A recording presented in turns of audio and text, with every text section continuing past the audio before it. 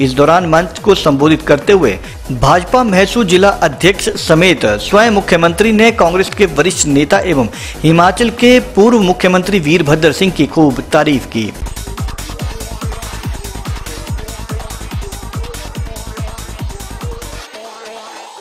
इस तरह सभा मंच से भाजपा नेताओं द्वारा कांग्रेस के वरिष्ठ नेता की तारीफ़ के मायने तलाशने लगे हैं।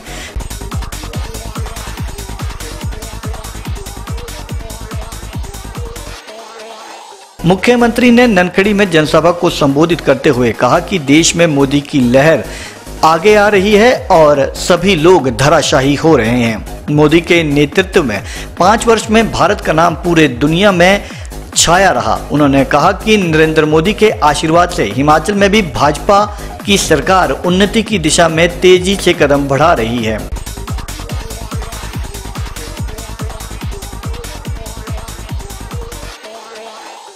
मुख्यमंत्री जयराम ठाकुर ने बताया कि उन्होंने आदर्श चुनाव आचार संहिता के लगने के बाद प्रदेश के अड़सठ में से 36 विधानसभा हलकों का दौरा पूरा कर लिया है।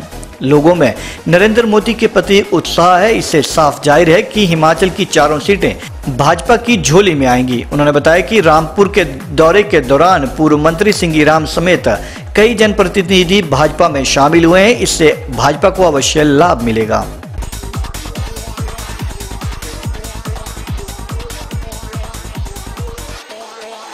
वहीं पूर्व मंत्री सिंगीराम ने कहा कि उन्होंने लगातार छह बार रामपुर से जीतकर विधानसभा में अपनी उपस्थिति दर्ज करवाई थी, लेकिन उसके बाद कांग्रेस ने उनका बिना कारण ही पत्ता काट दिया। जब से रामपुर का प्रतिनिधित्व बदला है, रामपुर का विकास ठप हुआ है। उन्होंने अपने क्षेत्र के लोगों के आग्रह पर ही भाजपा का दामन थामा है। वे चाहते हैं कि क्षेत्र का तेज़ी से विकास हो। उन्हें भाजपा के नेतृत्व को देखकर लग रहा है कि भाजपा में रहकर वे विकास करवा सकते हैं।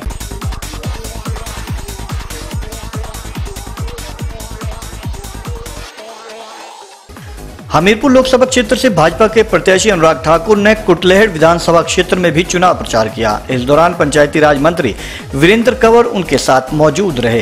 कुटलहड़ दौरे के दौरान अनुराग ने एक दर्जन नुक्कड़ सभाओं के साथ साथ क्षेत्र में रोड शो भी किया।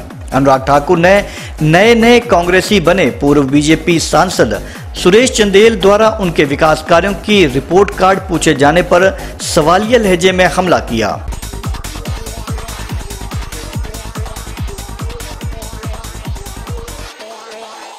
उन्होंने PGI Una, AIIMS Bilaspur, triple IT Una Bhanupali Bilaspur railway line का ज़िक्र करते हुए कांग्रेस पर विकास कार्यों में अड़ंगा डालने के आरोप लगाए। उन्होंने कांग्रेस अध्यक्ष राहुल गांधी द्वारा माफ़ी मांगे जाने का ज़िक्र करते हुए सुरेश चंदेल पर तंज कसा।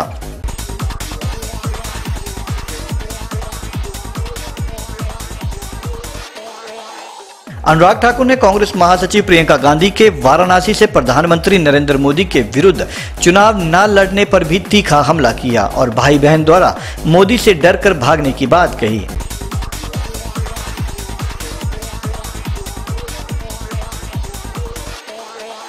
अनुराग ने राहुल गांधी द्वारा प्रियंका गांधी का टिकट काटे जाने की बात कहकर कांग्रेस पर कटाक्ष किया। यही नहीं, उन्होंने कांग्रेस द्वारा ईवीएम का रोना रोकर अब भी से चुनाव मैदान छोड़ने के आरोप तक लगाए।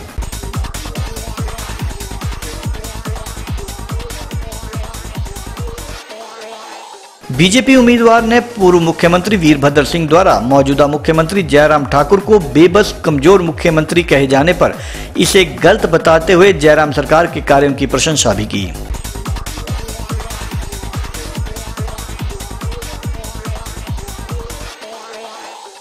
सोलन पुलिस ने नशे के खिलाफ विशेष अभियान छेड़ रखा है, जिसके तहत पुलिस ने गुप्तचर जगह जगह पर तैनात किए हुए हैं, जो लगातार नशे के कारोबारियों को सलाखों के पीछे पहुँचाने में लगे हैं।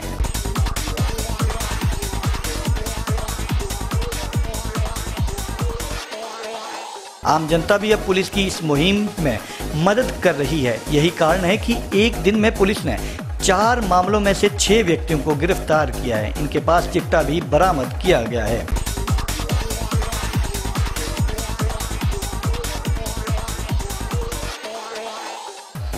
अधिक जानकारी देते हुए अतिरिक्त पुलिस अधीक्षक शिव कुमार शर्मा ने बताया कि उन्होंने एक ट्रक चालक के पास शून्य दशमलव आठ एक ग्राम चिट्टा बरामद किया है। वहीं अलग अलग दो मामलों में दो युवक पीठ पर बैग टांग कर जा रहे थे तो पुलिस को देखकर घबरा गए। पुलिस को दोनों पे शक हुआ। जब बैग की जाँच की गई तो उसमें तीन दशमलव सात आठ ग्राम और एक दशमलव एक शून्य ग्राम चिट्टा बरामद हुआ है। सभी को हिरासत में ले लिया गया है और आगामी कार्रवाई अमल में लाई जा रही है।